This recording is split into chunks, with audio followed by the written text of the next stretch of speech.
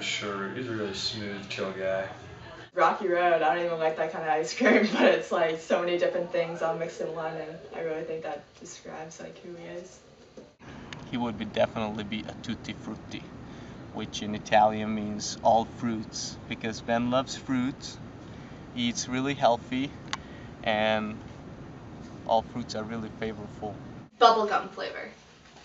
Because Ben's always chewing gum, so it's like a double awesomeness because there's sweet and then there's gum in it because it's like the extra treat. mint chocolate chip because it's my favorite and green's my favorite color and Ben's my favorite. Dark chocolate.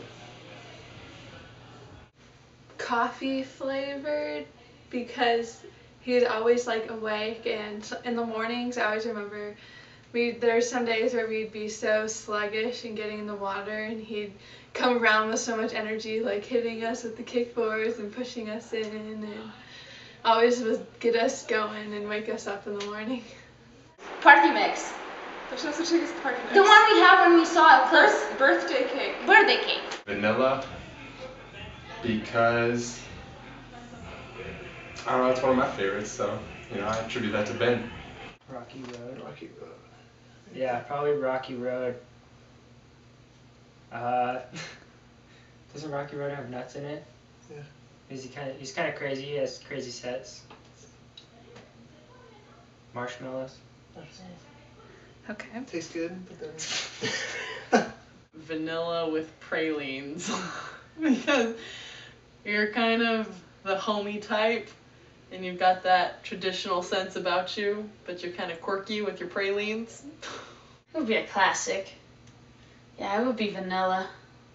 Because it's always good, you know? Orange?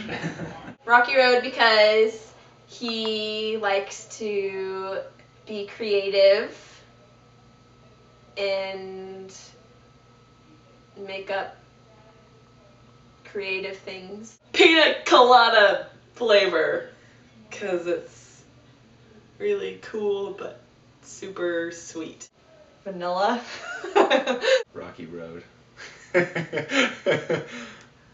Rocky Road because he rocks your road. Caramel praline crunch. Cookies and cream. Mint chocolate chip.